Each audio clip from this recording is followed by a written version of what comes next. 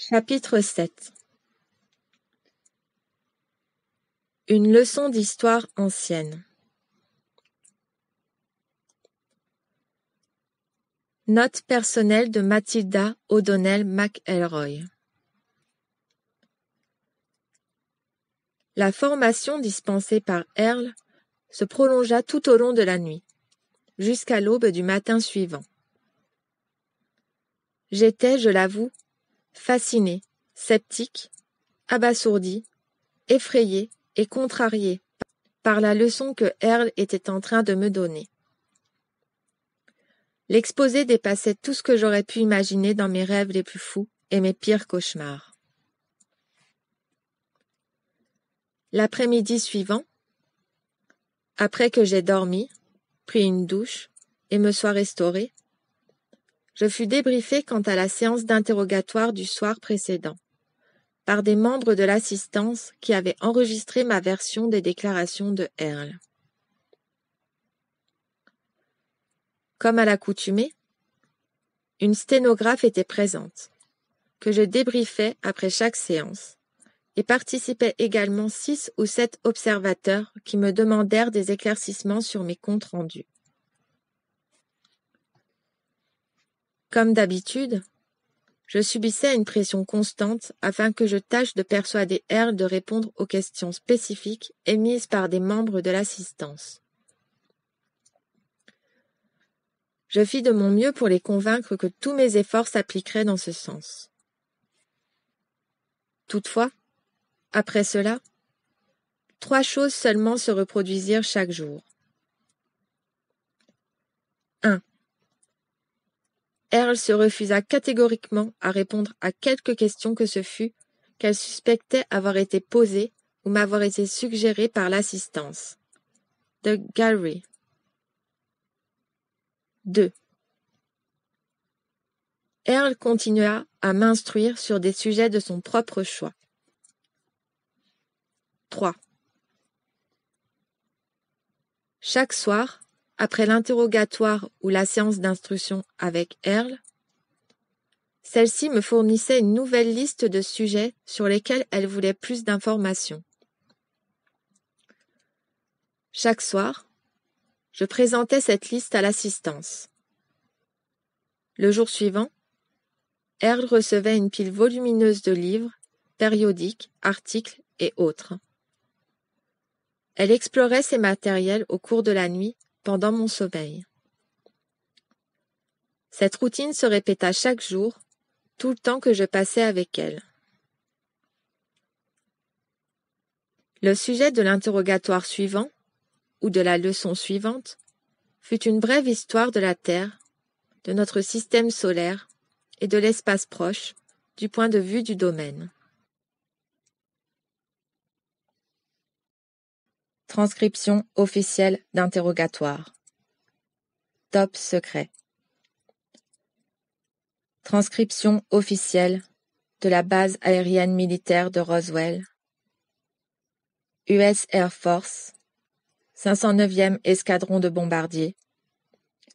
Sujet. Alien. Interview. 24 juillet 1947. Première séance. Avant que vous soyez capable de comprendre la question de l'histoire, vous devez premièrement maîtriser la question du temps. Le temps n'est rien de plus qu'une mesure arbitraire du déplacement des objets dans l'espace. L'espace n'est pas linéaire. L'espace est déterminé par le point de vue d'un isby qui considère un objet. La distance entre l'isby et l'objet considéré est appelée espace. Les objets, ou masses d'énergie, n'ont pas nécessairement un déplacement linéaire dans l'espace. Dans cet univers, les objets tendent à se mouvoir de façon aléatoire ou selon un modèle courbe ou cyclique ou encore selon des règles reconnues. L'histoire n'est pas une suite linéaire d'événements. À la différence de ce que sous-tendent de nombreux auteurs de livres d'histoire sur Terre, parce que l'histoire n'est pas une corde que l'on peut étirer et marquer comme un instrument de mesure. L'histoire est une observation subjective du mouvement des objets dans l'espace, fixée du point de vue d'un survivant, plutôt que du point de vue de ceux qui ont succombé. Les événements se produisent de façon interactive et concurrente, de la même façon que le corps physique a un cœur qui pompe le sang, tandis que les poumons acheminent l'oxygène jusqu'aux cellules, lesquelles se reproduisent en puisant l'énergie du soleil et des produits chimiques végétaux, cependant que le foie évacue les déchets toxiques du sang et les élimine par la vessie et les reins. Toutes ces interactions sont concurrentes et simultanées. Bien que le temps se déroule de façon continue, les événements ne surviennent pas selon un cours indépendant ou linéaire. Afin de percevoir et de comprendre l'histoire ou la réalité du passé, il est nécessaire de prendre en compte la totalité des événements comme partie d'un ensemble interactif. On peut également se représenter le temps comme une vibration uniforme qui parcourt l'univers physique dans sa globalité. Earl expliqua que les Isby existaient antérieurement à l'apparition de l'univers. La raison pour laquelle ils sont décrits comme immortels est le fait qu'un esprit ne peut naître ni s'éteindre, mais existe conformément à un concept du type est, sera. Earl s'appliqua à expliquer qu'aucun esprit n'est identique à un autre. Chacun est totalement unique par son identité, son pouvoir, sa conscience ou ses capacités. La différence entre un Isby du type d'Earl et la plupart des Isby qui habitent des corps sur Terre tient au fait qu'Earl a la faculté de s'introduire et de s'extraire librement de son corps artificiel. Elle possède des facultés de perception spécifiques dans les profondeurs de la matière. Earl et les autres officiers du domaine peuvent communiquer par télépathie. Dans la mesure où un Isby n'est pas une entité appartenant à un univers physique, il n'a pas de localisation dans l'espace ni dans le temps. Un Isby est littéralement immatériel. Il peut parcourir des distances spatiales immenses instantanément. Il peut éprouver des sensations plus intensément qu'un corps physique, sans recourir à des mécanismes sensoriels physiques. Un ISBI peut exclure la douleur de son expérience. Earl peut également se remémorer son identité, pour ainsi dire, à travers la nuit des temps, jusqu'à des trillions d'années. Elle me rapporta que l'ensemble des soleils qui se trouvent dans ce secteur immédiat de l'univers brûlent depuis 200 trillions d'années. L'âge de l'univers physique est pratiquement infini mais remonte probablement à quatre quadrillions d'années pour ce qui est de ses premiers instants. Le temps est un facteur difficile à mesurer, compte tenu qu'il repose sur la mémoire subjective des Isby, et qu'il n'existe pas d'archives synthétiques des événements survenus dans l'univers physique depuis son origine.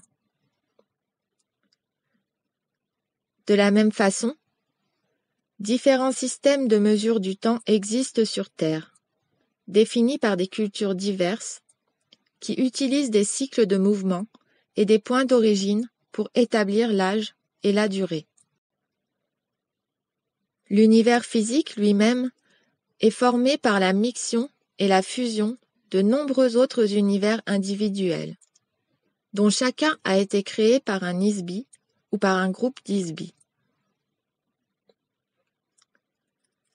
Ces univers illusoires, en collision, se sont agrégés et amalgamés, puis se sont solidifiés pour former un univers créé collectivement. Compte tenu que l'énergie et les formes peuvent être créées mais ne peuvent pas être détruites, ce processus créatif a continué à engendrer un univers en expansion continue, de dimensions physiques pratiquement infinies. Antérieurement à la formation de l'univers physique, exista une longue période au cours de laquelle les univers n'étaient pas solides, mais au contraire totalement illusoires. On pourrait dire que l'univers était constitué d'illusions magiques, créées pour apparaître et s'évanouir au gré du magicien. Dans tous les cas, le magicien était un ou plusieurs Isbi. De nombreux Isbi sur Terre peuvent encore se remémorer des vagues images de cette période. Les récits de magie, de sorcellerie, les contes de fées et les récits mythologiques se réfèrent à ces choses, quoiqu'en des termes très approximatifs.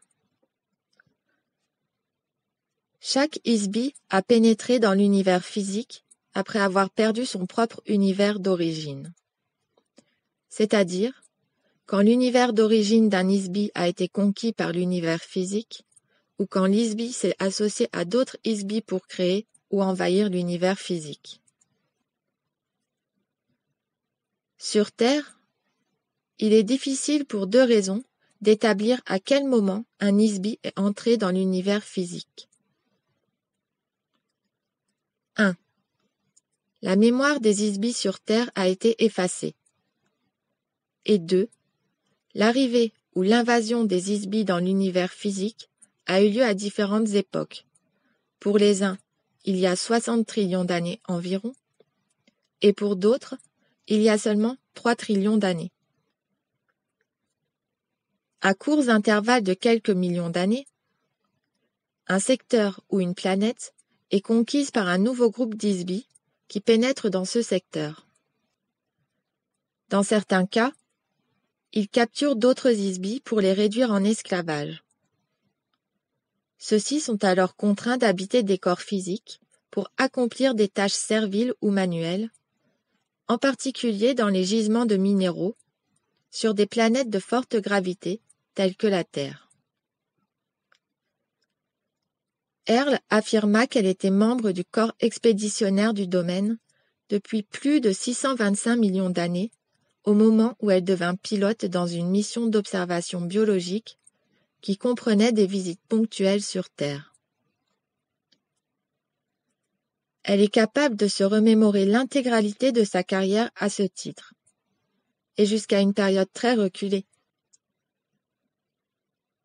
Elle me déclara que les scientifiques terrestres ne disposent pas d'un système de mesure fiable pour sonder l'âge de la matière. Ils tiennent pour acquis que du fait que certains types de minéraux semblent se détériorer assez rapidement, tels que les matières organiques ou les matières à base de carbone, on peut en déduire que se produit une dégradation de la matière. Il n'est pas approprié de mesurer l'âge de la pierre en se basant sur l'âge du bois ou de l'os. C'est là une erreur fondamentale. En fait, la matière ne se dégrade pas. Elle ne peut pas être détruite. La matière peut être altérée dans sa forme, mais elle n'est jamais véritablement détruite. Le domaine a procédé à une inspection périodique des galaxies dans ce secteur de l'univers depuis l'époque où il a mis au point des technologies de voyage spatial, il y a environ 80 trillions d'années. Un examen des changements qui ont affecté le relief terrestre révèle que les chaînes de montagnes s'élèvent et s'affaissent, que les continents dérivent, que les pôles basculent, que les calottes glaciaires s'étendent et reculent, que les océans se forment et disparaissent, que les rivières, les vallées et les canyons se transforment. Dans tous les cas, il s'agit de la même matière. Il s'agit toujours du même sable. Chaque forme et substance est faite à partir du même matériau de base qui ne se dégrade jamais. Note personnelle de Mathilda O'Donnell McElroy.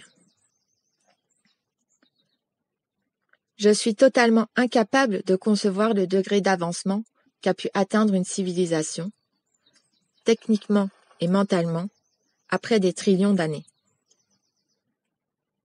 Pensez seulement au progrès atteint par notre pays, comparé à ce qu'il était il y a à peine 150 ans. Quelques générations avant nous, on se déplaçait à pied, à dos de cheval ou en bateau. On lisait à la lueur d'une bougie. On se chauffait et on cuisinait sur un feu de cheminée. Et les logements n'étaient pas équipés de canalisation. Transcription officielle d'interrogatoire. Top secret. Transcription officielle de la base aérienne militaire de Roswell, US Air Force, 509e unité de bombardier. Sujet Alien Interview 24 juillet 1947 Première séance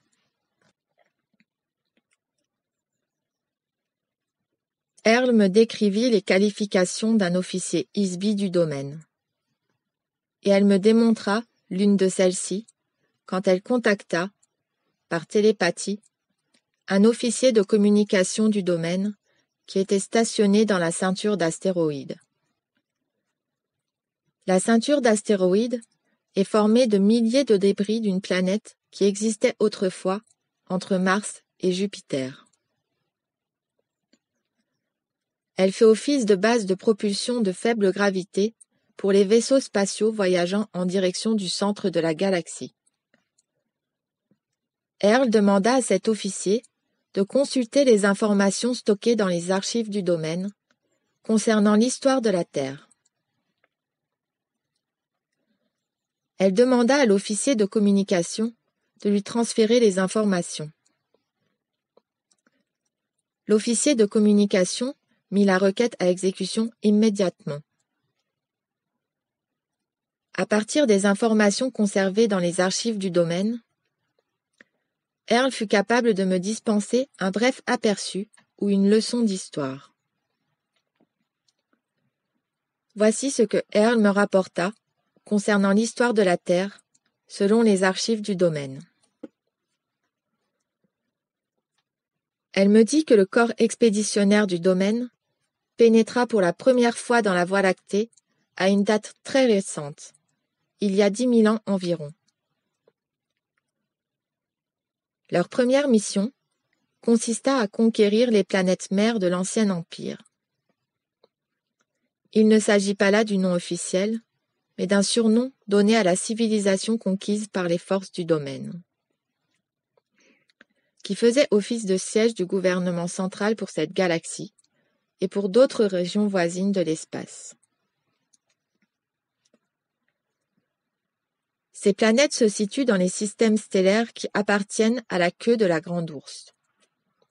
Elle ne précisa pas de quelles étoiles il s'agissait exactement. Environ 1500 ans plus tard, le domaine commença à installer des bases à l'intention de ses propres forces sur l'axe d'expansion qui conduit jusqu'au centre de la galaxie. Il y a 8200 ans, les forces du domaine implantèrent une base sur Terre, dans la chaîne de l'Himalaya, près de la frontière entre le Pakistan et l'Afghanistan. Cette base était destinée à un bataillon du corps expéditionnaire du domaine, formé de 3000 membres. Ils édifièrent une base sous ou à l'intérieur du sommet d'une montagne. Ce sommet fut foré et creusé, afin de libérer un espace approprié pour recevoir les vaisseaux et le personnel de cette force. On créa un hologramme pour dissimuler la base en projetant une image artificielle sur un écran de force depuis le cœur de la montagne. Les vaisseaux pouvaient alors entrer et sortir en traversant l'écran de force à l'insu des Homo sapiens. Peu de temps après qu'ils se fussent installés, la base fut surprise par une attaque menée par une unité intacte des forces militaires de l'Ancien Empire. Totalement à l'insu du domaine, une base souterraine secrète sur Mars, utilisée par l'Ancien Empire, avait été préservée pendant une très longue durée. La base du domaine fut anéantie par une attaque militaire depuis la base martienne, et les isbis du corps expéditionnaire du domaine furent capturés. Comme vous pouvez l'imaginer, le domaine fut extrêmement choqué d'avoir perdu un contingent aussi important d'officiers et de membres d'équipage. Ils dépêchèrent d'autres équipages sur Terre à leur recherche. Ces équipages furent également attaqués. Les isbis des forces du domaine qui furent capturés furent traités de la même manière que tous les autres isbis qui ont été envoyés sur Terre. Ils furent soumis à un traitement amnésique, leur mémoire remplacée par des représentations artificielles et par des commandes hypnotiques. Ils furent ensuite envoyés sur Terre pour habiter des corps biologiques. Jusqu'à présent, ils font partie de la population humaine. À la suite d'une investigation très intensive et de grande ampleur sur la perte de ces équipages, le domaine découvrit que l'Ancien Empire avait opéré dans ce secteur de la galaxie depuis des millions d'années, à partir d'une base de dimensions considérables et très habilement dissimulée. Personne ne sait depuis quand exactement. Les vaisseaux spatiaux de l'Ancien Empire et ceux du domaine finirent par s'affronter en combat ouvert dans l'espace du système solaire. Selon Earle, les forces de l'Ancien Empire et celles du Domaine s'affrontèrent dans une bataille continue jusqu'à environ 1235 après Jésus-Christ, date à laquelle les forces du Domaine finirent par détruire le dernier des vaisseaux spatiaux de l'Ancien Empire dans ce secteur. Le corps expéditionnaire du Domaine perdit également un grand nombre de vaisseaux à la même époque. Environ mille ans plus tard, la base de l'Ancien Empire fut découverte de façon fortuite au printemps de l'année 1914. La découverte se produisit au moment où le corps de l'archiduc d'Autriche fut occupé par un officier du corps expéditionnaire du domaine. Cet officier, qui était stationné dans la ceinture d'astéroïdes, fut envoyé sur Terre pour une mission de routine de reconnaissance. L'objectif de cette prise en charge consistait à prendre l'apparence de ce corps de façon à infiltrer la société humaine et à recueillir des informations sur les événements contemporains sur Terre. Étant donné que l'officier, en tant qu'Isby, possédait un pouvoir supérieur à celui de l'être qui habitait le corps de l'archiduc, l'officier expulsa simplement l'entité et prit le contrôle du corps. Toutefois, l'officier en question ignorait le degré de haine que les Habsbourg inspiraient aux factions hostiles répandues dans le pays. Et il fut pris au dépourvu quand le corps de l'archiduc fut assassiné par un étudiant bosniaque. L'officier, ou Isby, fut brutalement extirpé du corps au moment où il fut abattu par l'étudiant. Désorienté, Lisby pénétra par inadvertance dans un des écrans de force amnésiques et fut capturé.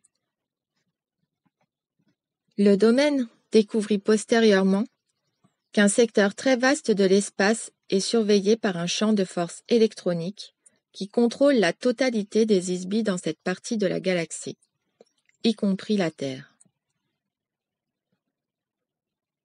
Le champ de force électronique est conçu pour détecter les ISBI et les empêcher de quitter le secteur.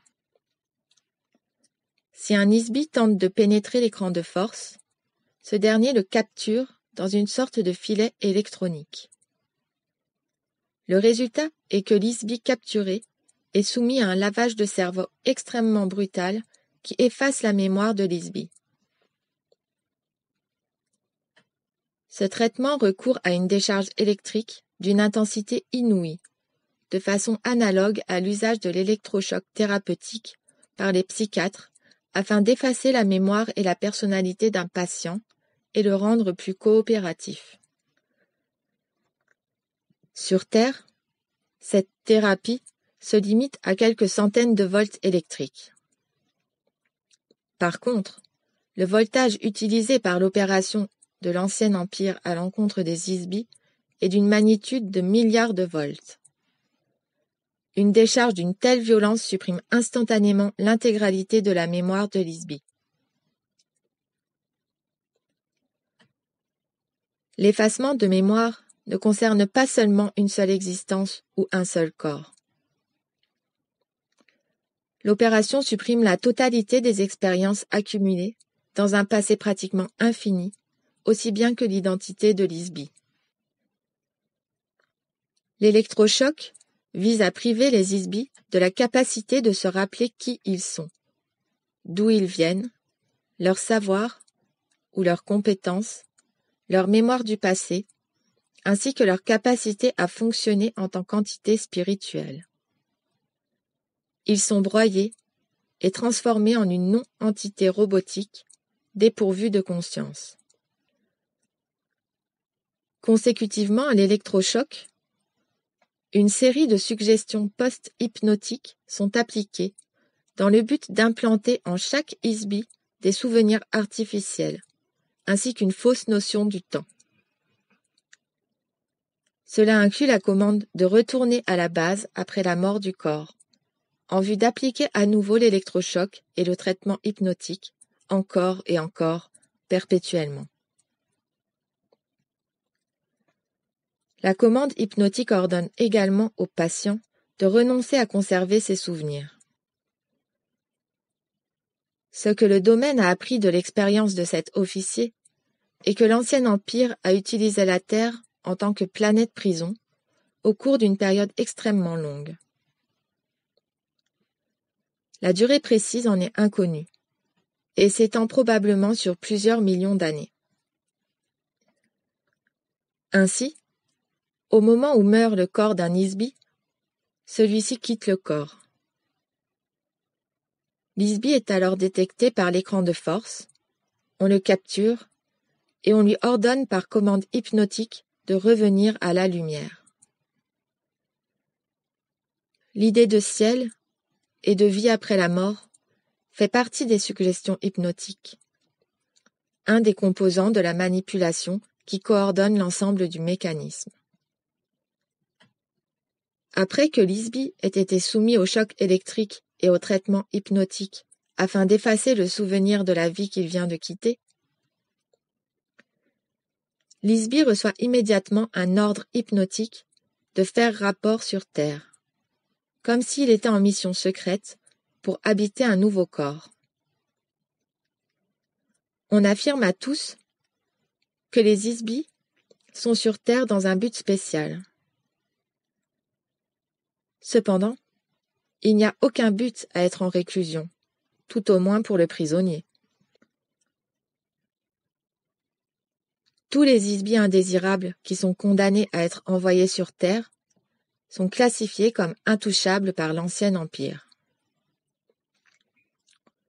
Cela s'applique à tous les isbies que l'Ancien Empire a classés comme des criminels trop endurcis pour être réhabilités ou soumis, ainsi qu'à d'autres criminels tels les pervers sexuels ou les individus qui se refusent à tout travail productif. Une catégorie intouchable d'ISBI inclut également un large éventail de prisonniers politiques. Cela s'applique aux ISBI considérés comme des libres penseurs insoumis ou des révolutionnaires qui perturbent le gouvernement des différentes planètes de l'Ancien Empire. Bien entendu, quiconque a pris part à des actions militaires contre l'Ancien Empire est également déporté sur Terre.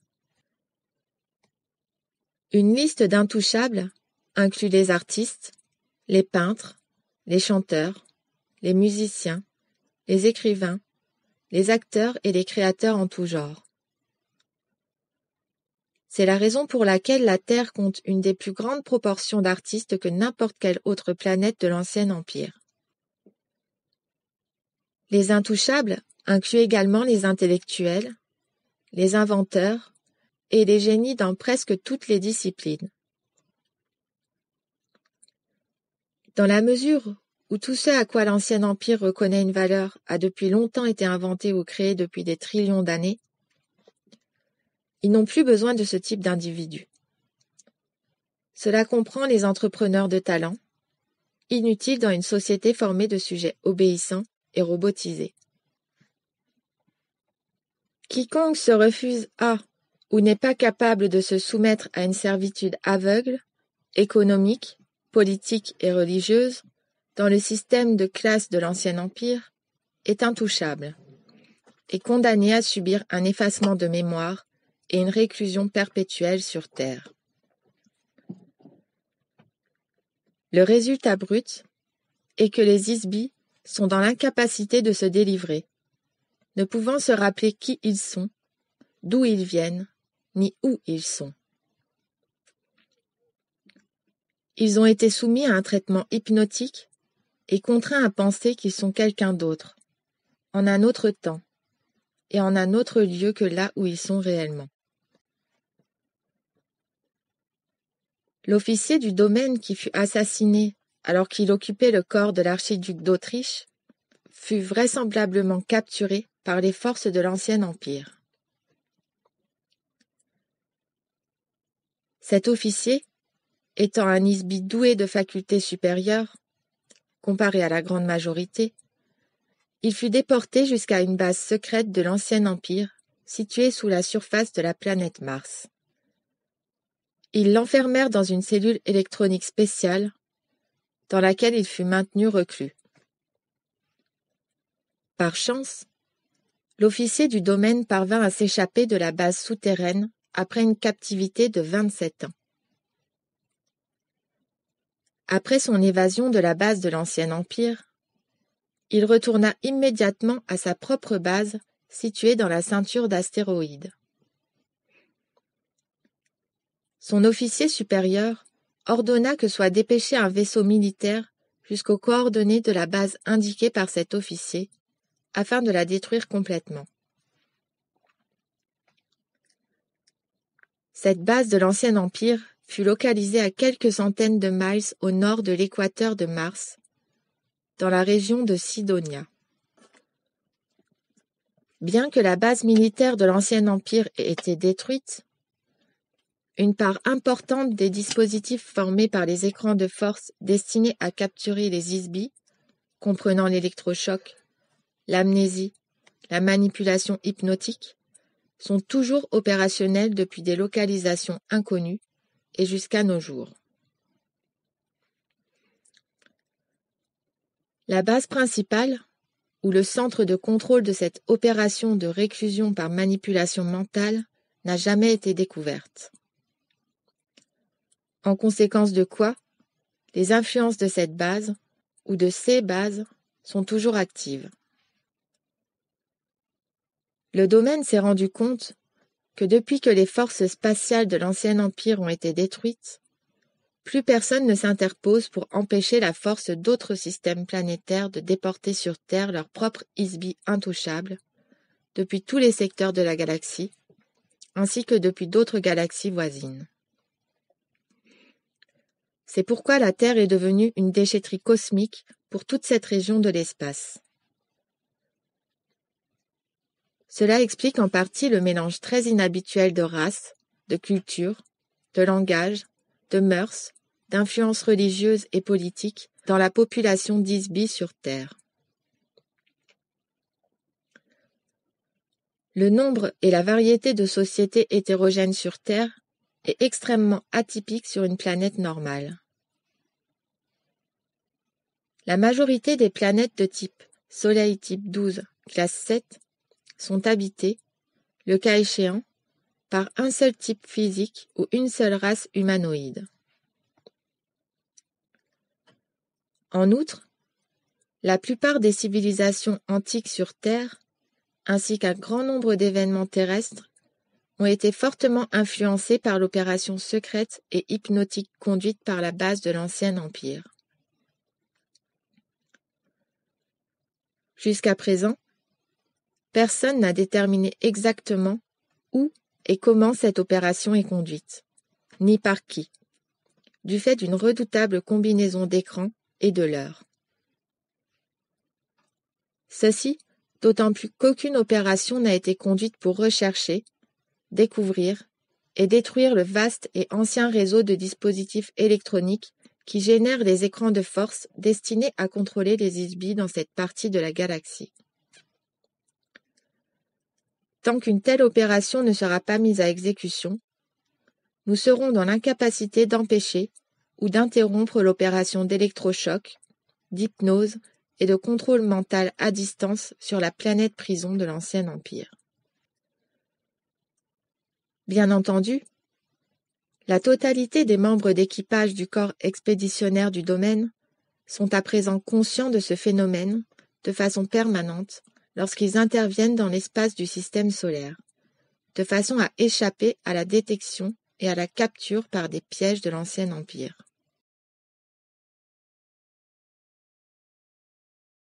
Chapitre 8 Une leçon d'histoire récente. Note personnelle de Mathilda O'Donnell McElroy Cet entretien me valut une leçon d'histoire que je ne lirai jamais dans aucun manuel scolaire écrit sur Terre. Le domaine a une vision des événements on ne peut plus différente de la nôtre. Transcription officielle d'interrogatoire. Top secret. Transcription officielle de la base militaire aérienne de Roswell, US Army Air Force, 509e escadron de bombardiers. Sujet Alien Interview 26 juillet 1947 Première séance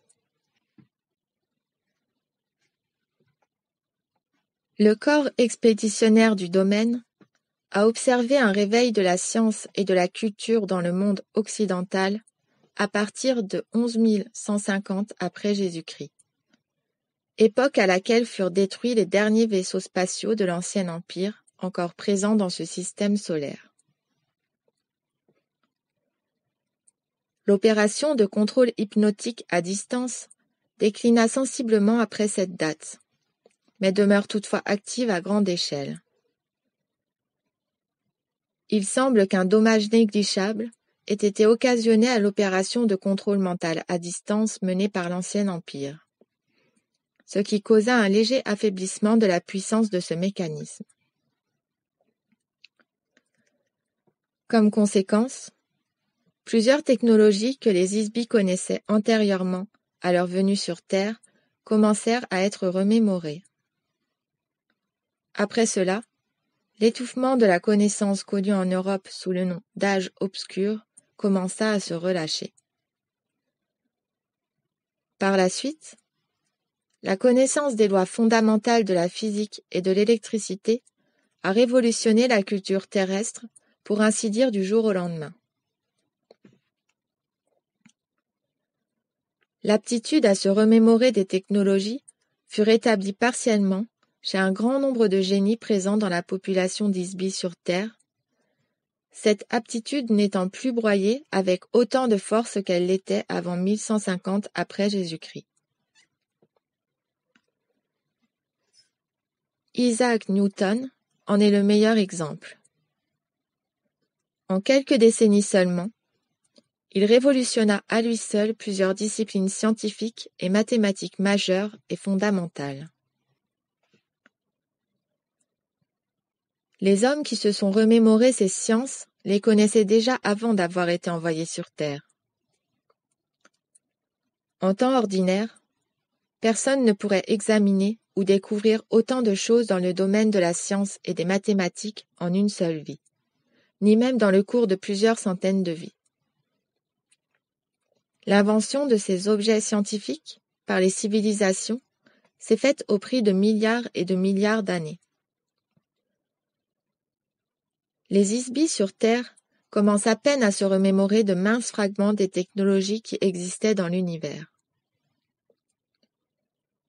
Théoriquement, si les mécanismes d'amnésie mis en œuvre contre la Terre pouvaient être entièrement brisés, les Isbis récupéreraient l'intégralité de leur mémoire.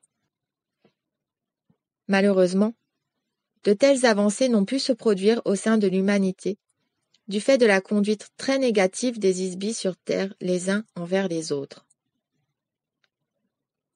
Cependant, cette conduite est lourdement influencée par les commandes hypnotiques administrées à tous les Isbis entre leurs vies successives. De même, la combinaison fort inhabituelle des occupants de la terre criminelle, pervers, artistes, révolutionnaires et génies, est la cause d'un environnement très réfractaire et contestataire. L'objectif de la planète prison est de maintenir les Isbis sur Terre indéfiniment. Favoriser l'ignorance, la superstition et la guerre entre les Isbis facilite le maintien de la population carcérale assujettie et piégée derrière le rideau des écrans de force électroniques. Les Isbis ont été déportés sur Terre en provenance de toutes les régions de la galaxie, des galaxies voisines et des systèmes planétaires de tout le territoire de l'Ancien Empire, tels que Sirius, Aldébaran, les Pléiades, Orion, le Dragon, et d'autres systèmes innombrables. On trouve sur Terre des isbis provenant d'un nombre infini de races, de civilisations, de fondements culturels et d'environnements planétaires. Chacune des populations d'isbis sur Terre dispose de ses propres langues, systèmes de croyances, valeurs morales, croyances religieuses et histoires inconnues et non révélés. Ces Isbis sont mêlés à des habitants de la Terre plus anciens, venus d'un autre système solaire, il y a plus de 400 000 ans, afin de fonder les civilisations de l'Atlantide et de la Lémurie. Ces civilisations disparurent par l'effet de raz de marée causé par un basculement des pôles planétaires plusieurs milliers d'années avant l'arrivée de la population carcérale actuelle. Apparemment, les isbis en provenance de ces systèmes solaires furent à l'origine des races asiatiques sur Terre à partir de l'Australie. D'autre part, les civilisations créées sur Terre par le système carcéral de l'Ancien Empire était très différente de la civilisation de l'Ancien Empire elle-même, qui est une civilisation galactique, un conglomérat, reposant sur l'énergie atomique, formée à partir de civilisations antérieures, qui furent conquises au moyen d'armes nucléaires et colonisées par des isbis d'une autre galaxie. La bureaucratie qui contrôlait l'ancien empire original provenait d'une antique société galactique, gouvernée par une confédération totalitaire de gouvernements planétaires, régie par une brutale hiérarchie sociale, économique et politique, sous l'autorité d'un tout-puissant monarque. Ce type de gouvernement voit régulièrement le jour sur des planètes dans lesquelles les citoyens renoncent à assumer personnellement leurs responsabilités d'autorégulation. Ils perdent fréquemment leur liberté, au profit d'Isby frappés de démence, qui souffrent d'une paranoïa dominante, qui leur fait regarder tout autre Isby comme leur ennemi, qui doit être soumis ou détruit. Leurs amis et alliés les plus proches, qui les épousent pour les aimer et les chérir, sont littéralement aimés à mort. Compte tenu de l'existence de tels isbis, le domaine a appris que la liberté doit être conquise et préservée au prix d'une surveillance constante, et par la capacité à utiliser la force défensive afin de la préserver. En conséquence, le domaine a d'ores et déjà conquis la planète de gouvernement de l'ancien empire.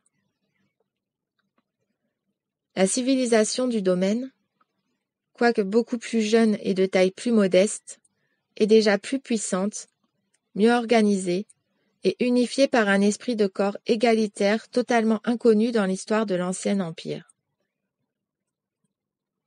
L'État totalitaire allemand, qui fut écrasé il y a peu, ressemblait à l'ancien empire, mais n'était pas aussi brutal et des milliers de fois moins puissant. Un grand nombre des Isbis se trouvant sur Terre sont ici parce qu'ils sont violemment opposés au gouvernement totalitaire, ou parce qu'ils souffrent de telles déviances psychotiques qu'ils seraient incontrôlables pour le gouvernement de l'ancien empire. De ce fait, la population terrestre comprend une proportion démesurément élevée de tels êtres.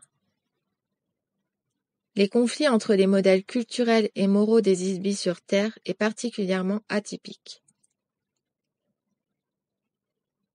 La conquête des planètes centrales de l'ancien empire par le domaine s'est faite au moyen de canons laser.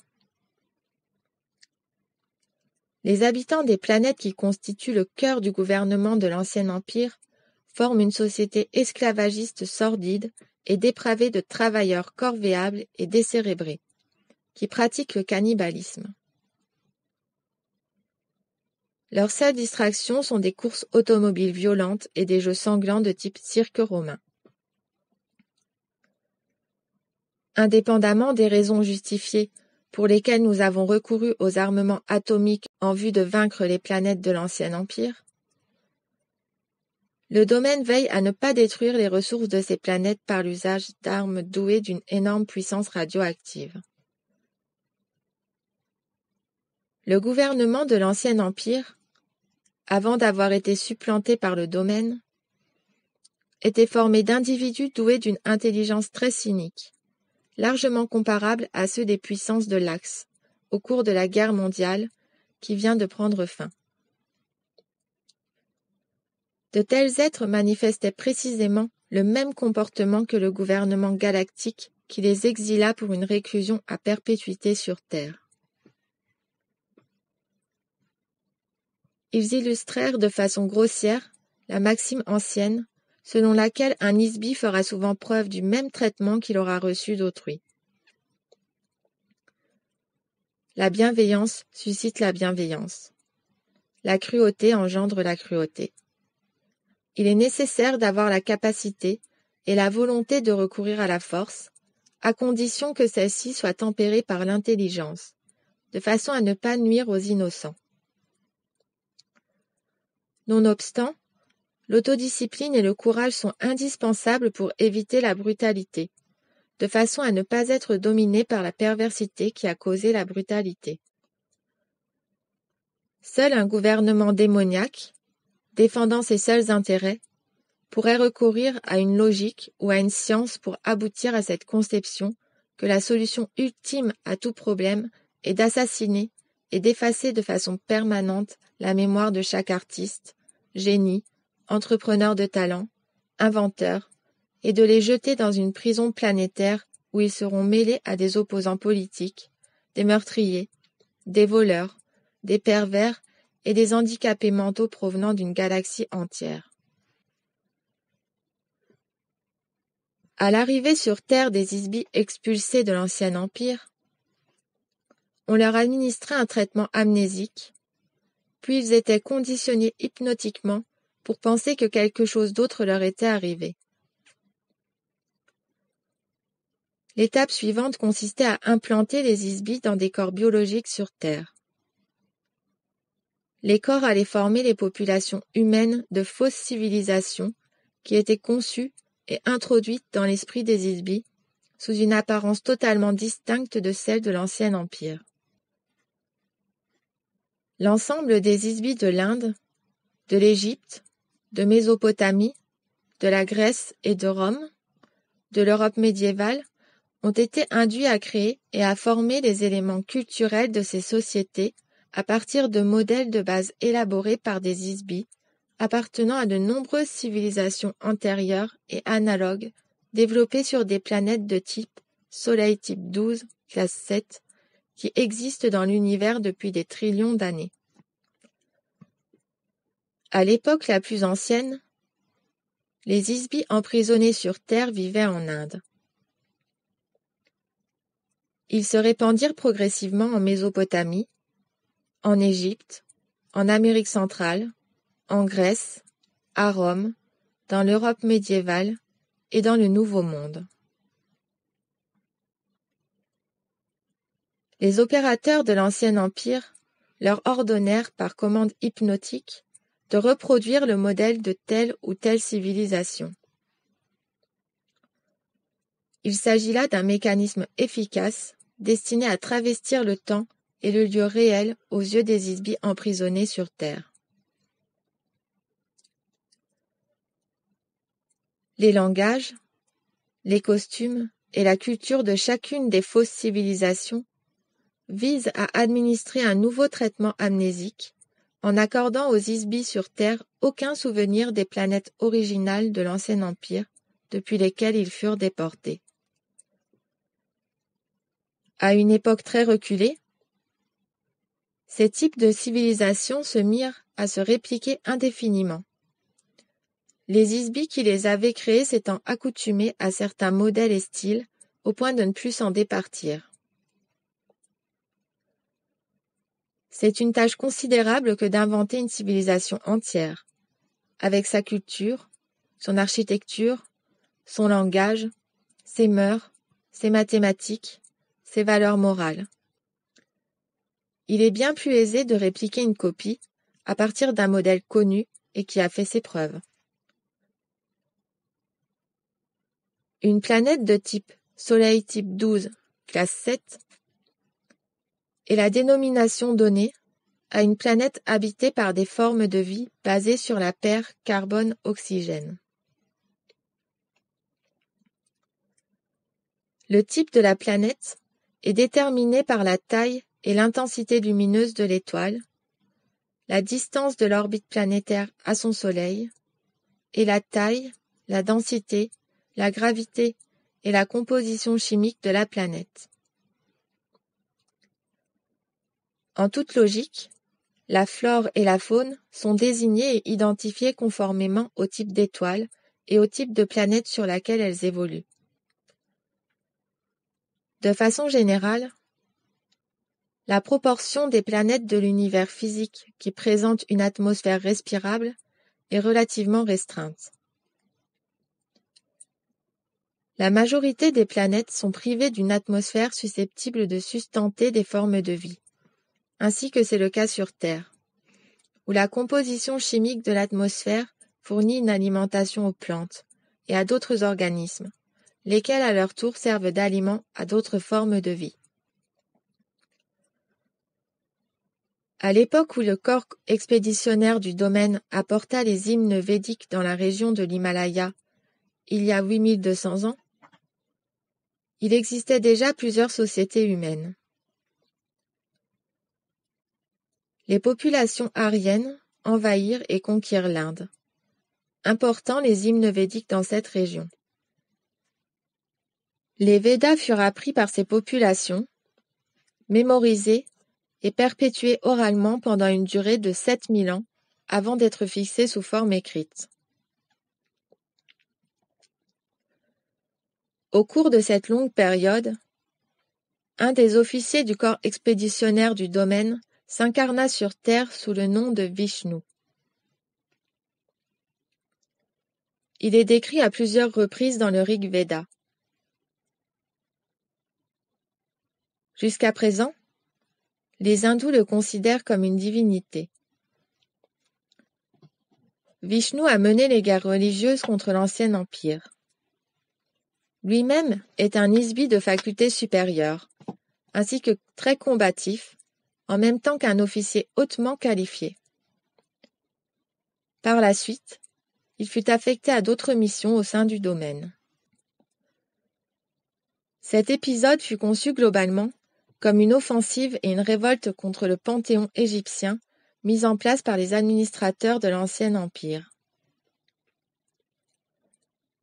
L'affrontement était destiné à libérer l'humanité des éléments implantés par la fausse civilisation qui focalisait l'attention sur une multitude de dieux et de rituels superstitieux ordonnés par les prêtres qui les administraient.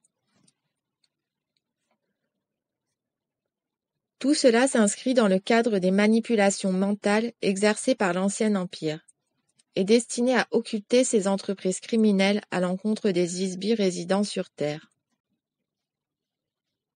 On eut recours à une classe de prêtres, ou plutôt de gardiens de prison, pour inculquer l'idée que l'individu n'est rien de plus qu'un corps biologique, et non pas un être spirituel immortel.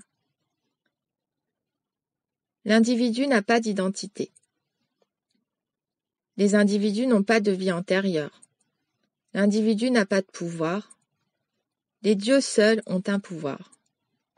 De plus, les dieux sont à la disposition des prêtres qui intercèdent entre les hommes et les dieux qu'ils servent. Les hommes sont asservis au dictat des prêtres, qui les menacent d'un châtiment spirituel éternel s'ils ne leur obéissent pas.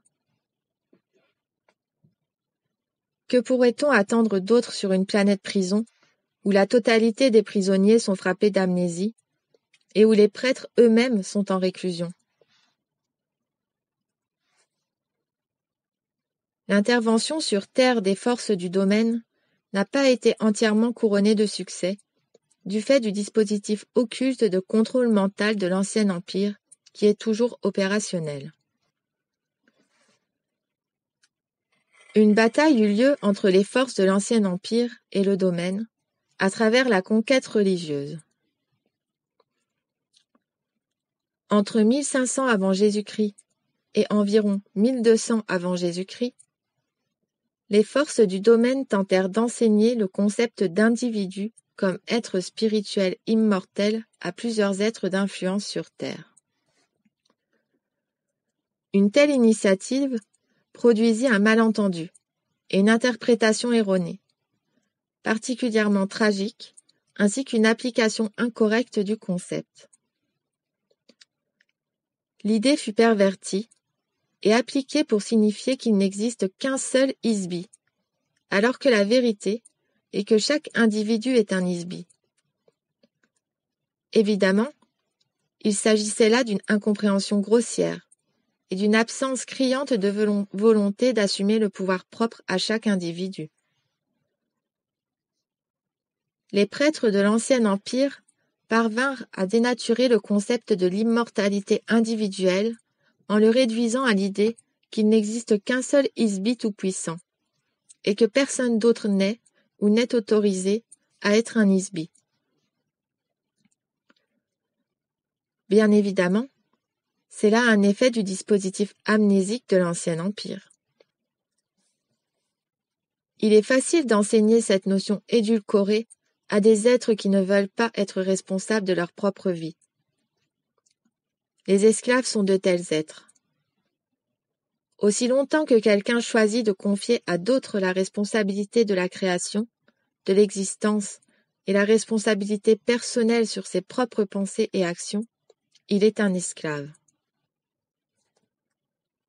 Il en résulta l'apparition du concept d'un Dieu monothéiste, qui fut défendu par de nombreux prophètes autoproclamés, tels que le leader des esclaves juifs, Moïse, qui grandit dans la demeure du pharaon Amenhotep III, de son fils Akhenaton et sa femme Néfertiti, ainsi que du fils de ce dernier, Toutankhamon.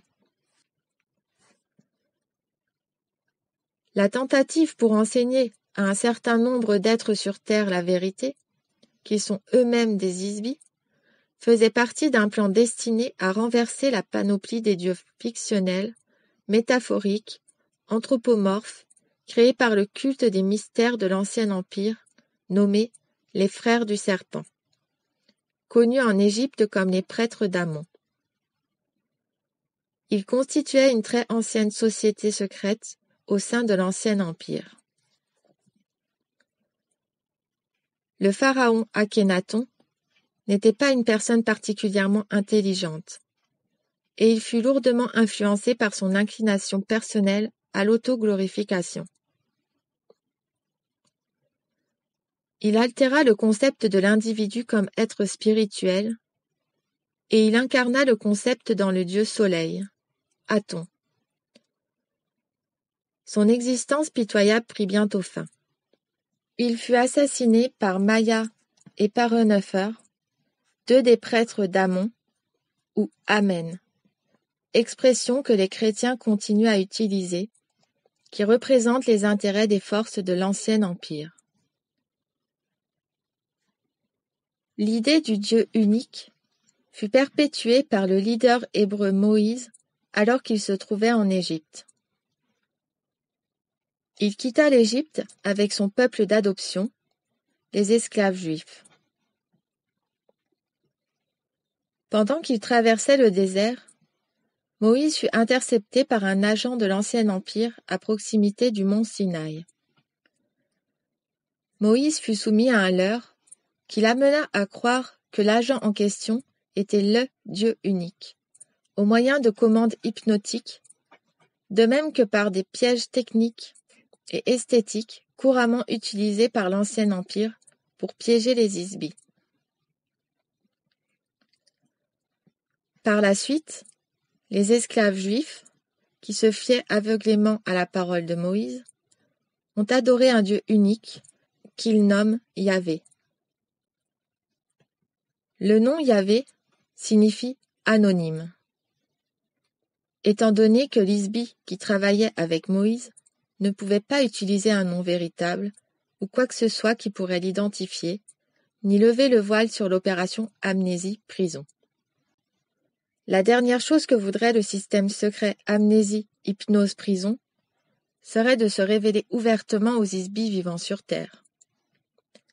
Il redoute que cela puisse restaurer la mémoire des habitants. Telle est la raison pour laquelle toute trace de rencontre physique entre des agents de civilisation galactique et des humains sont très soigneusement dissimulés, maquillés, étouffés, niés ou faussement interprétés. Cet agent de l'ancien empire contacta Moïse au sommet d'une montagne dans le désert et lui adressa les dix commandements hypnotiques. Ces commandements furent formulés avec une grande autorité, et contraignent un ISBI à une suggestion absolue à la volonté de l'opérateur. Ces commandements hypnotiques sont encore effectifs et influencent les modèles de pensée de millions d'ISBI des milliers d'années après. De façon fortuite, nous découvrîmes ultérieurement que le soi-disant Yahvé a également écrit, programmé et encodé le texte de la Torah, qui lu littéralement, ou dans sa forme décodée, fournira un volume encore plus grand de fausses informations à ceux qui le lisent. Plus récemment, les hymnes védiques devinrent la source de presque toutes les religions orientales et furent la source philosophique des idées communes à Bouddha, Lao Tse, Zoroastre et à d'autres philosophes. Les influences civilisatrices de ces philosophies finirent par remplacer la brutale idolâtrie des religions de l'Ancien Empire, et furent la véritable genèse de la bonté et de la compassion.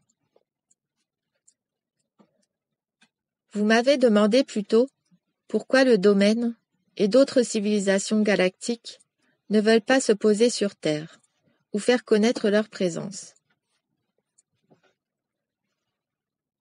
Se poser sur Terre Croyez-vous que nous sommes fous ou que nous voulons le devenir? Cela demande beaucoup de courage à un Isbi de traverser l'atmosphère et de se poser sur Terre, qui est une planète prison, occupée par une population très incontrôlable et psychotique. De plus, aucun Isbi n'est totalement protégé contre le risque de tomber dans un piège comme ce fut le cas des membres du corps expéditionnaire du domaine, qui furent capturés dans l'Himalaya il y a environ 8200 ans. Personne ne sait ce que les Isbis sur Terre vont faire. Il n'est pas dans notre agenda d'investir les ressources du domaine pour prendre le contrôle total de tout l'espace environnant le secteur à l'époque présente. Cela se produira dans un futur relativement proche, dans un délai d'environ 5000 années terrestres, selon la programmation temporelle du domaine. Pour le moment, nous n'empêchons pas les cargos en provenance d'autres systèmes planétaires ou d'autres galaxies de déporter continuellement des isbis dans le secteur du champ de force amnésique. Dans le futur, cela changera. En outre, la Terre est en elle-même une planète hautement instable. Elle ne se prête pas à une colonisation ou à un habitat permanent pour une civilisation durable. C'est en partie la raison pour laquelle elle est utilisée comme planète prison. Personne d'autre n'aurait sérieusement l'intention de vivre ici pour un certain nombre de raisons simples et irréfutables. 1. Les masses continentales de la Terre flottent sur une mer de magma en fusion, dont l'effet est que les continents se fracturent, se soulèvent et dérivent continuellement. 2. Du fait de la nature liquide du noyau, la planète est principalement tellurique et soumise à des tremblements de terre et à des éruptions volcaniques. 3. Les pôles magnétiques de la planète basculent complètement tous les 20 000 ans environ. Cela cause un degré plus ou moins élevé de dévastation du fait des raz-de-marée ainsi que des changements climatiques. 4. La Terre est très éloignée du centre de la galaxie, ainsi que de toute autre civilisation galactique majeure. Cet isolement la rend impropre à l'usage, si ce n'est à titre d'étape ou de point de propulsion le long de la voie entre les galaxies. La Lune et les astéroïdes sont beaucoup plus appropriés à cet objectif compte tenu de leur faible gravité. 5. La Terre est une planète de forte gravité, avec un sol métallique lourd et une atmosphère dense. Cela la rend peu fiable aux fins de navigation. Le fait que je me trouve dans cette salle, suite à un accident de vol, en dépit de la technologie de mon vaisseau et de ma longue expérience de pilote, est une preuve de ces faits. 6. Il existe environ 60 milliards de planètes du type de la Terre. Soleil type 12, classe 7, dans la seule Voie lactée. Sans parler des vastes étendues du domaine et des territoires que nous revendiquerons dans le futur.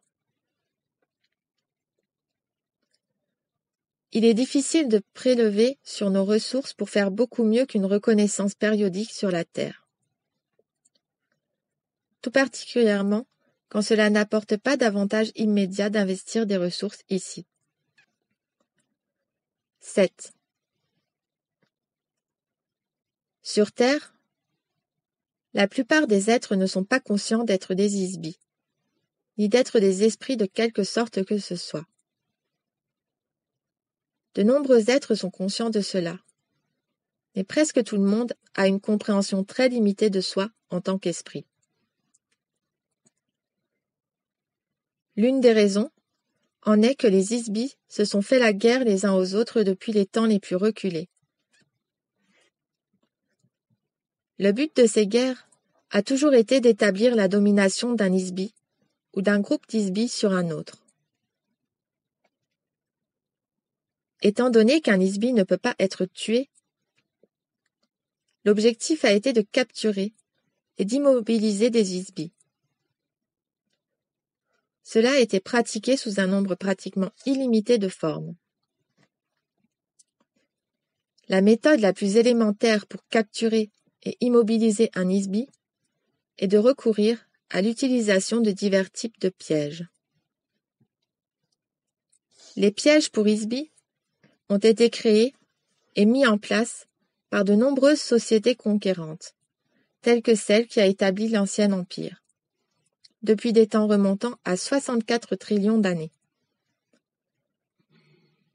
Les pièges sont souvent mis en place dans le territoire des isbies, contre lesquels l'attaque est dirigée. Généralement, un piège est mis en place en recourant à la longueur d'onde électronique de la beauté, de façon à attirer l'attention et l'intérêt de l'isbie. Lorsque l'isbie se déplace vers la source de l'onde esthétique, tel qu'un bel édifice ou une belle musique, le piège est activé par l'énergie libérée par l'isbie lui-même. L'un des mécanismes de piège les plus courants utilise la production d'énergie mentale de l'isbie lorsque celui-ci tente d'attaquer ou de se défendre contre le piège. Le piège est activé et alimenté par la propre énergie mentale de l'isbie. Plus l'isbie se débat contre le piège, plus il est attiré vers celui-ci et maintenu paralysé dans le piège. Tout au long de l'histoire de cet univers physique, de vastes secteurs de l'espace ont été conquis et colonisés par des sociétés d'Isby qui envahissent et annexent de nouveaux secteurs de l'espace de cette façon. Dans le passé, ces invasions ont toujours partagé des éléments communs. 1.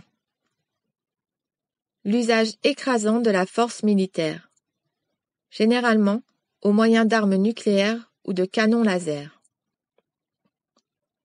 2.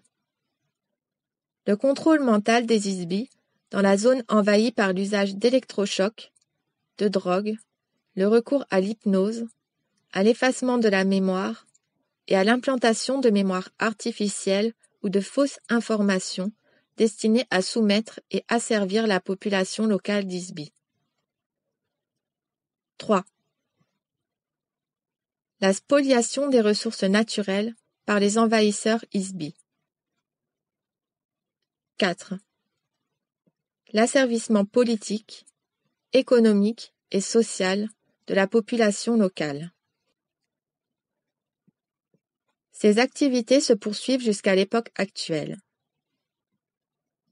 La totalité des Isbi sur Terre ont pris part à une ou à plusieurs de ces activités dans le passé que ce soit comme envahisseurs ou par leur appartenance à la population soumise à l'invasion. Il n'existe pas de saints dans cet univers. Très peu ont échappé à ou ont été exemptés de guerres entre Isbi.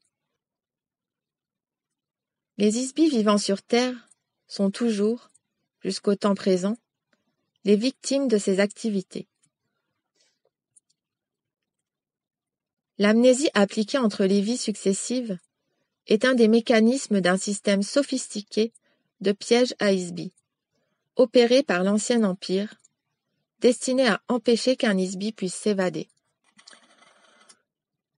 Cette opération est conduite par une police secrète formée de renégats de l'Ancien Empire qui recourent à de fausses opérations de provocation afin de camoufler leurs activités et d'échapper à la détection de leur propre gouvernement, du domaine, ainsi que des victimes de leurs activités. Il s'agit de méthodes de contrôle conçues par un gouvernement de psychiatres. La Terre est une planète ghetto. C'est là le résultat d'un holocauste intergalactique. Les Isbi ont été condamnés à la réclusion sur Terre pour l'une ou l'autre des raisons suivantes. 1. Ce sont des malades mentaux, ou des pervers trop endurcis pour s'intégrer dans quelque civilisation que ce soit, y compris la plus avilie ou la plus corrompue. 2. Il constitue une menace révolutionnaire pour le système de caste sociale, économique et politique qui a été si soigneusement édifié et imposé si brutalement par l'ancien empire.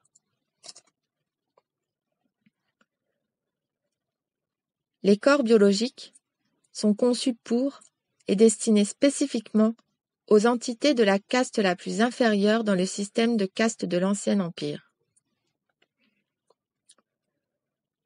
Quand un Isbi est envoyé sur Terre, puis piégé et contraint d'opérer dans un corps biologique, il se trouve en fait en prison, à l'intérieur d'une prison. 3. Dans un effort pour débarrasser l'ancien empire de façon permanente et irréversible de ses intouchables, l'identité, la mémoire et les facultés éternelles de chaque Isbi sont effacées de façon violente. Cette solution finale fut imaginée et mise en œuvre par les criminels psychopathes qui sont sous le contrôle de l'ancien empire. L'extermination de masse des intouchables et les camps d'internement construits par l'Allemagne au cours de la Deuxième Guerre mondiale ont été révélés récemment. De la même façon, les Isbis vivant sur Terre sont victimes d'une éradication spirituelle et d'une servitude perpétuelle dans de frêles corps biologiques, inspirés par la même haine féroce qui existe dans l'Ancien Empire. Les bienveillants et créatifs habitants de la Terre sont continuellement torturés par des bourreaux et des démons soumis aux opérateurs pénitentiaires de l'Ancien Empire.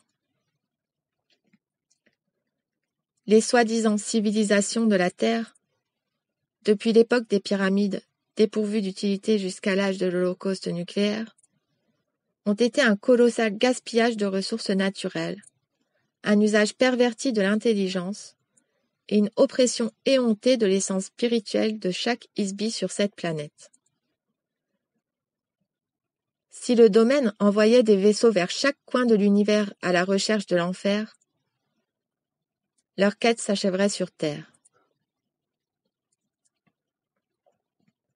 Quelle brutalité plus grande peut-elle être infligée à quelqu'un que d'effacer la conscience spirituelle, l'identité, les capacités et la mémoire qui sont l'essence de la personne.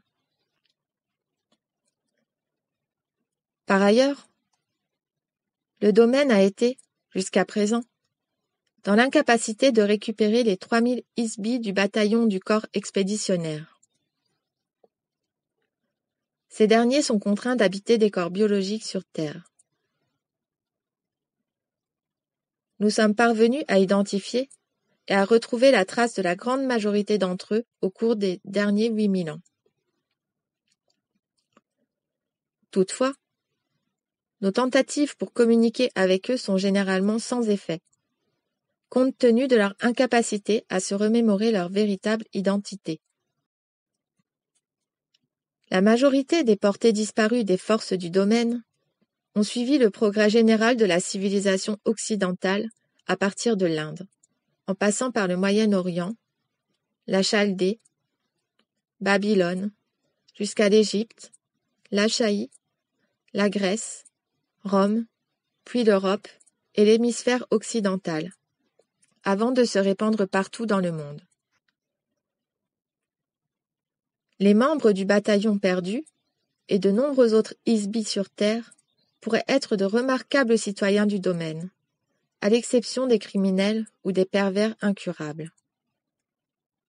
Malheureusement, aucune méthode efficace n'a été conçue pour émanciper les isbis de la terre. Par conséquent, à titre de logique élémentaire, de même qu'à titre de politique officielle du domaine, il est plus sûr et plus sensé d'éviter le contact avec la population d'Isbis sur Terre jusqu'au moment où des ressources appropriées seront appliquées à localiser et à détruire l'écran de force et le dispositif amnésique de l'ancien empire, et à mettre au point une thérapie destinée à restaurer la mémoire d'Anisby.